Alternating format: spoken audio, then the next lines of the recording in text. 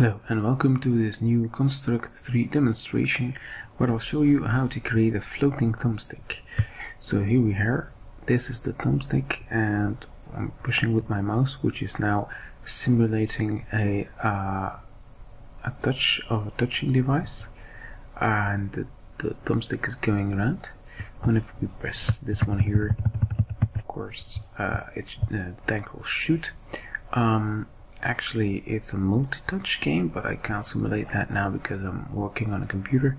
Uh, but if I were to use a touch device I would be able to shoot at the same time using the other uh, control so as you can see uh, the little area is going around and it, the tank is inert when it stays right in the middle. Um, but whenever we move to the side uh, we go in one direction um, and the little area the little uh, bluish area is not going outside of the bigger area. And once uh, the bluish area hits the edges of that area you can see that within the left side of the uh, of the game the area the bigger area will also move across the screen so how does this work? Um, we've got the tank, of course, which got an 8 direction and also a scroll to uh, behavior. Um, this is pretty simple, it's just a fire sprite. And this is also pretty simple.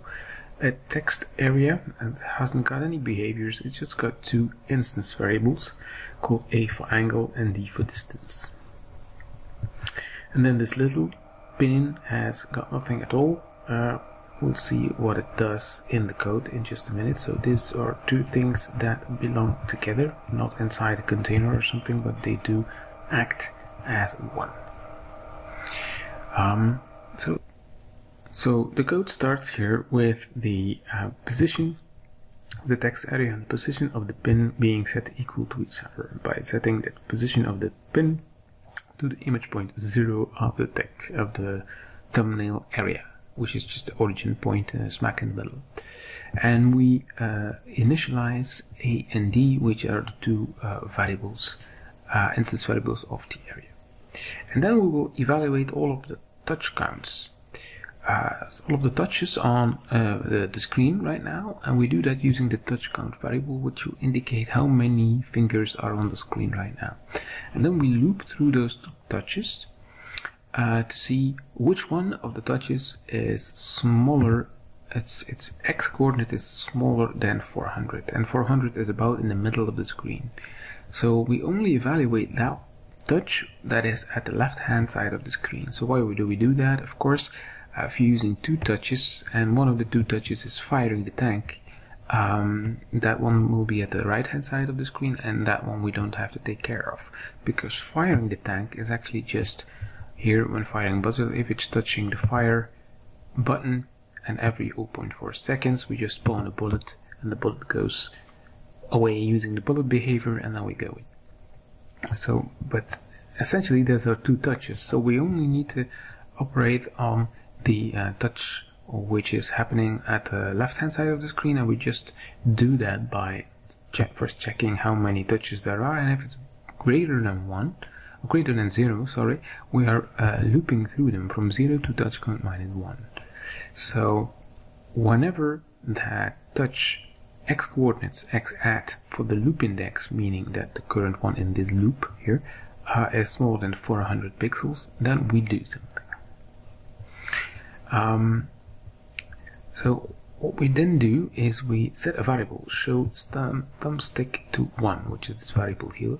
We just say that it is showing. We do something. Let me collapse that here. And after uh, after doing everything here this piece of code is also executed.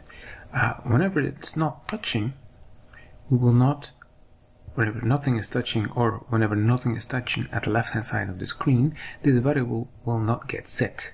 This will remain at zero and this will be executed because this checks if it is zero and then we set the position of the text area to minus 1000 minus 1000, so it's somewhere off screen. And as on every tick we set the position, both the area and the pin will disappear. So that's how this works. So whenever we're touching at the left hand side of the screen, um, we check if the text, not the text area, the thumbnail area is not on the screen, then we put it to the position of the touch. So the touch position of the loop index here, which is the currently looping touch count.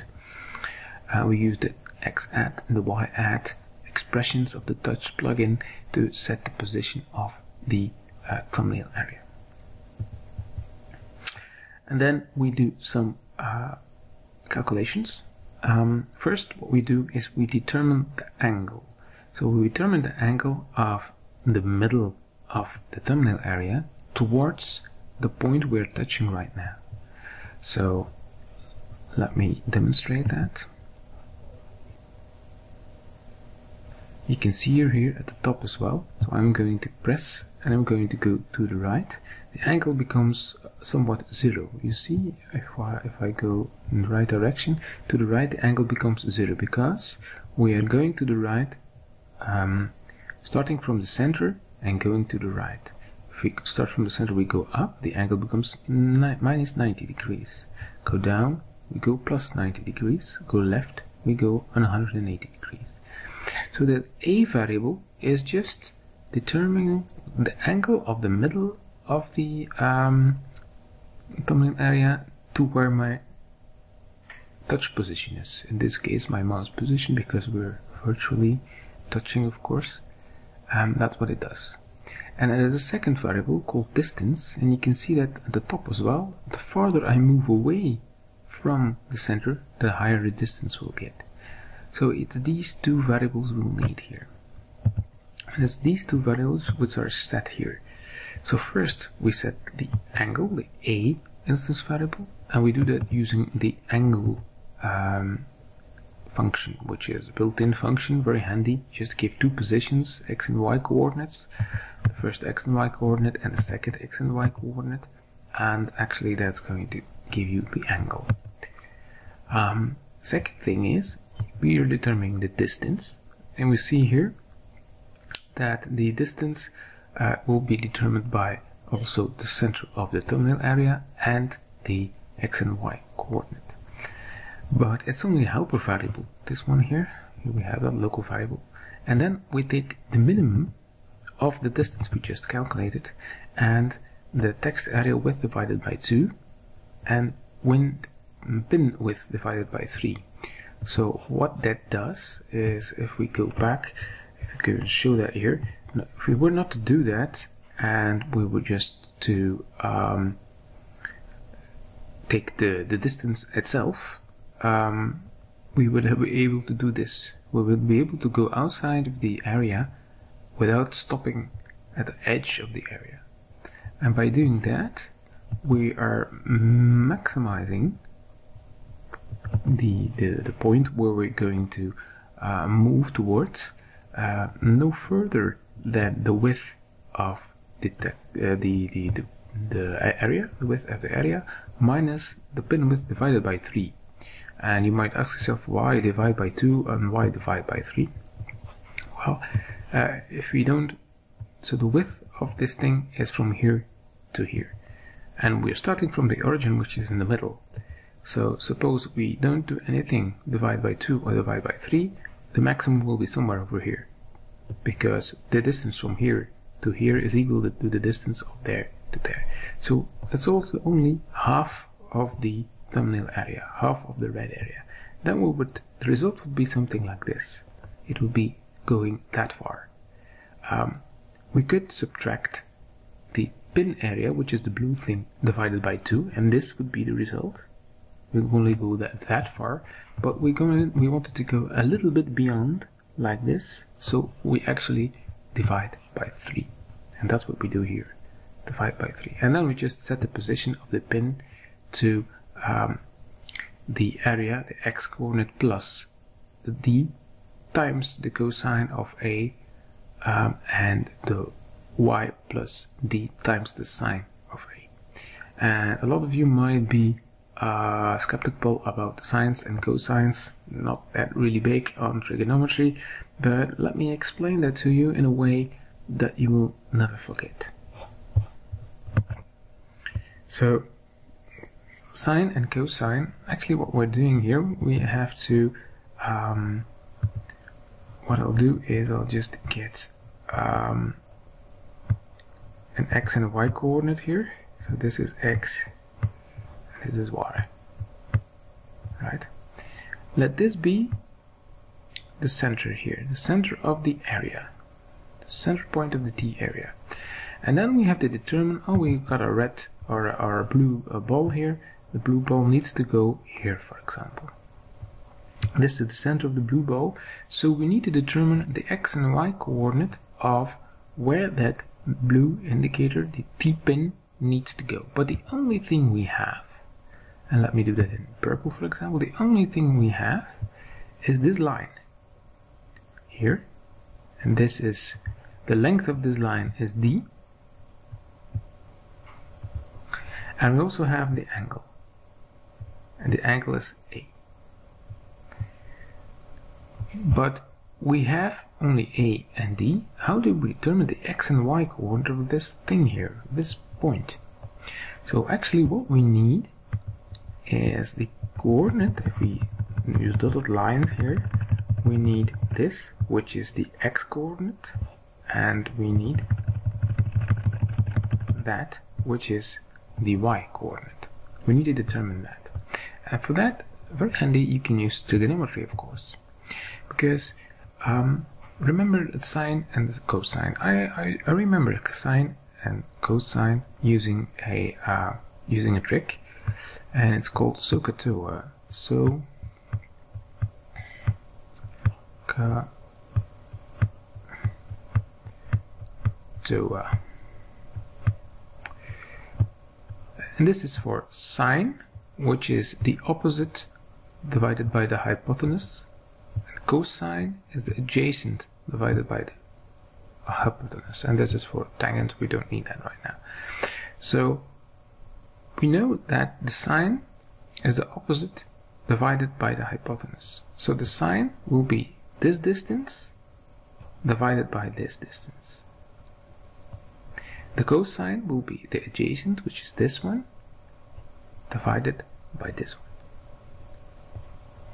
So what do we have now? We, we say that the cosine of a certain angle, and this is the angle A, equals to the adjacent divided by the hypotenuse. Great. But what do we have in this variable? We have a, which is the uh, the, the corner here, the, the angle, and we have h. But we need to determine a. We need to determine this length because by determining a, we know the length of this of this uh, line, and hence we know the x coordinate. So the only thing we have to do is move this variable to the other side of the assignment, which we will then multiply by it. Here we divide, so we move it to the other side of the equal sign. So we multiply it. So then we just say that this goes away and we say A is h times the cosine of alpha. Um, and of course that's what will happen. D times the cosine of alpha. That's what we do here. H, which is actually D,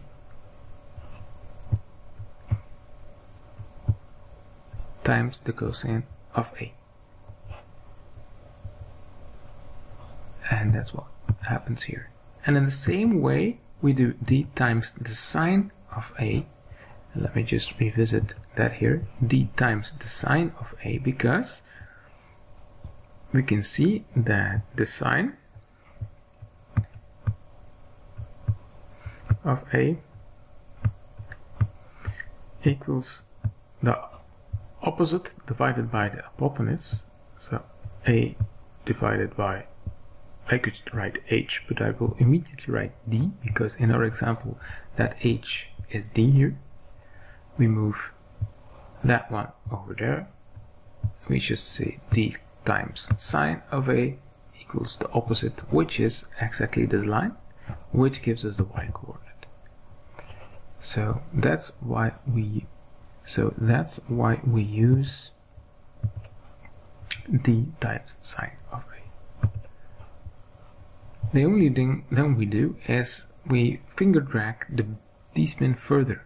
So if the distance is larger than the area, we move the move it in pixels toward the A, towards that angle, and that will take care of that the fact that the area will move in the direction of my uh, finger um, whenever we're going uh, further into that direction. Um, and then whenever there's no thumbstick, we will uh, set the position to somewhere outside of the screen. Of course, we set the text here, the text values, uh, on the screen to indicate which angle and which distance. And then um, this is where actually uh, the tank is uh, moving. So whenever the distance of the T area is greater than 10, we call that a dead zone if we're smack in the middle to prevent uh, very slight in uh, variations in our touch behavior to make the tank go crazy left right left right we only do something if our distance is bigger than 10 so uh, then we set the x vector and the y vector again using the sine and cosine I just explained to you.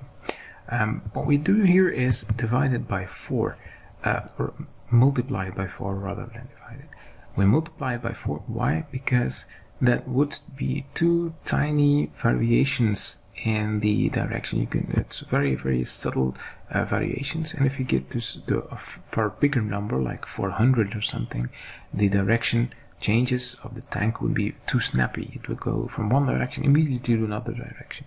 So it's a little of a little bit of a of a, of a balancing act here. And 4 is good good indication of a multiplier for that vector to make it a smooth uh, transition. So this is precise control and as the, the comment says here if you want a more 8 direction keyboard like control you can also use the simulation 8 direction here by uncommenting this here um, but I'll stay with this uh, smooth directional thing here. So that's it. As always, please like and subscribe. I will leave a link in the description to where you can get the templates here. Um, and see you next time.